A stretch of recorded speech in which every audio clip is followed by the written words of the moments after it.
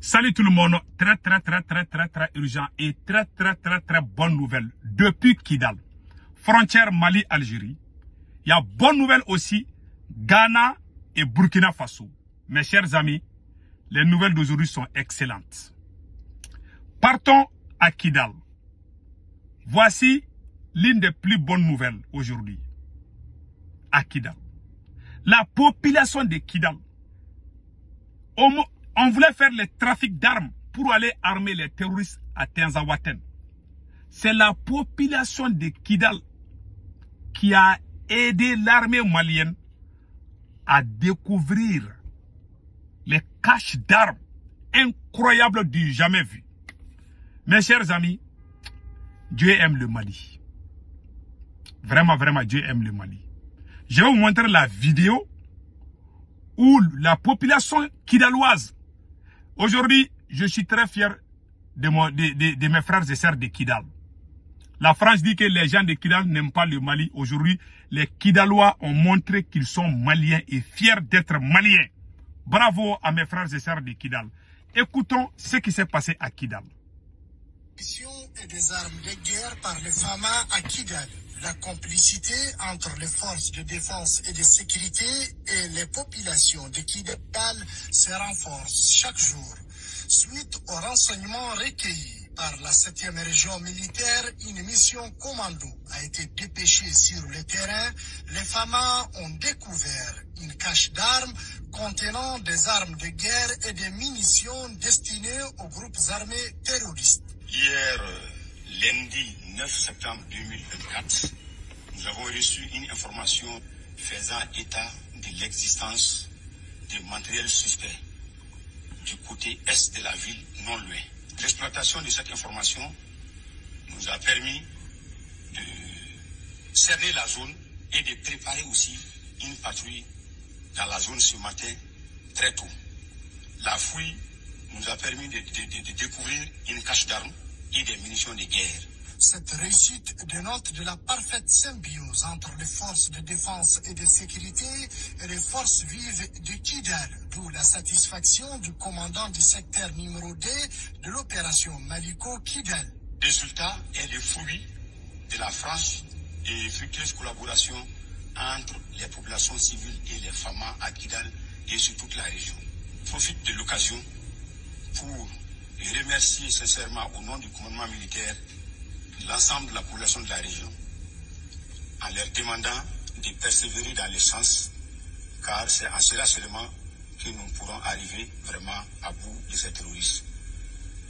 Je félicite également très chaleureusement les hommes qui ont été engagés dans cette opération ce matin, dont la détermination et l'engagement ont permis de parvenir à ce résultat. Les femmes demeurent engagées pour pacifier toute l'étendue de la 8e région administrative du Mali. Donc vous avez tous entendu. C'est ce qui a impressionné les Blancs, surtout la France. Au Mali, quand on dit terroriste seulement, les gens sont pressés de sortir et faire face. Si c'est en Europe là, même un seul terroriste peut faire fuir toute une ville, sauf les porteurs d'uniforme. Vous avez vu la, la détermination de la population de Kidal ce sont les Kidalois qui ont aidé l'armée malienne. Aujourd'hui au Mali, tout le monde est devenu agent secret contre les terroristes. Bravo au peuple malien. Bravo au peuple burkinabé et bravo au peuple nigérien. Nous sommes descendants des, des, des héros. Nous sommes descendants des héros. Nous sommes très fiers de nos ancêtres. On n'est pas comme les autres. Hein. Vous voyez comment la population de Kidal s'est engagée aux côtés de l'armée. Nous saluons vraiment le courage et la détermination de nos frères et sœurs qui vivent à Kidal. Qu'Allah le Tout-Puissant vous protège contre les forces du mal. Donc tout le monde a entendu les armes saisies, des armes lourdes, vraiment du jamais vu. Vous voyez toutes ces armes-là, ça c'est à Kidal. Incroyable, hein? Des armes qui peuvent remplir des camions. Ils ont découvert beaucoup d'armes. C'était pour préparer la bataille la bataille de Tenzawaten. Parce qu'ils savent que l'armée va aller les botter les culs là-bas. Donc ils ont tout fait. Ils voulaient faire les trafics d'armes, tout. Donc aujourd'hui, le temps vient de donner raison au peuple malien. Yad Agali est introuvable aujourd'hui. Nous disons bravo aux forces armées maliennes depuis Kidal. Allons-y avec euh, le Ghana. Le Ghana se rapproche de l'AIS. Je répète encore. Le Ghana se rapproche de l'AIS. Après le Nigeria. Tout le monde a vu le, chef de l'armée du Nigeria était au Niger. Aujourd'hui, une délégation ghanéenne était au Burkina Faso. Vraiment, le Ghana avait travaillé avec l'AIS, surtout le Burkina Faso. Voilà ce qui est écrit ici. Je vais lire tout de suite pour qu'on puisse comprendre. Source AIS Info. Voilà. Lutte contre le terrorisme, le Ghana prêt à soutenir le Burkina Faso, à collaborer avec le Burkina Faso. Le ministre burkinabé des Affaires étrangères, Karamogo Jean-Marie Traoré, a rencontré une délégation ghanéenne conduite par le ministre de la Sécurité nationale, M. Albert Kandap. Cette rencontre visait à renforcer la coopération entre les deux pays, notamment dans la lutte contre l'insécurité. Le Burkina Faso a exprimé sa gratitude envers le Ghana pour l'accueil des réfugiés burkinabés et la bonne entente entre les deux peuples. Le Ghana a réaffirmé son engagement à soutenir le Burkina Faso, soulignant l'importance de renforcer la coopération compte tenu de la frontière commune de plus de 630 km. Le Ghana s'est également engagé à plaider en faveur du Burkina Faso auprès des institutions internationales pour obtenir un soutien accru dans la lutte contre le terrorisme. Cette rencontre de haut niveau témoigne de la solidarité entre les deux pays et de leur détermination à travailler ensemble contre l'insécurité dans la région. Voilà. Donc les Ghana aussi se rapprochent. Je vous dis, quand tu travailles bien là, les gens vont venir vers toi.